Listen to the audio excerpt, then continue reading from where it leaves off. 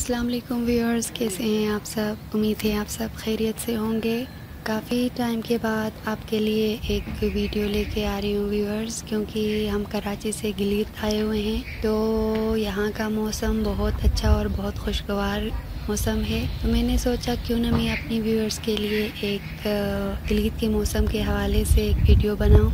तो व्यूअर्स इस वक्त गिलगित में मौसम पहाड़ में उरूज पे है।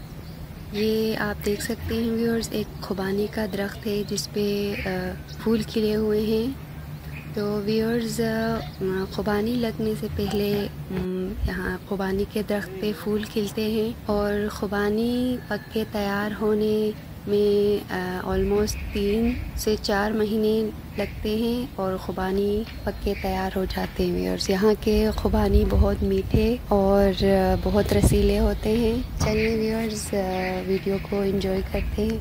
और व्यूअर्स आपसे एक रिक्वेस्ट है कि प्लीज़ अगर आप मेरे चैनल पे नए हैं तो मेरे चैनल को ज़रूर सब्सक्राइब कीजिएगा।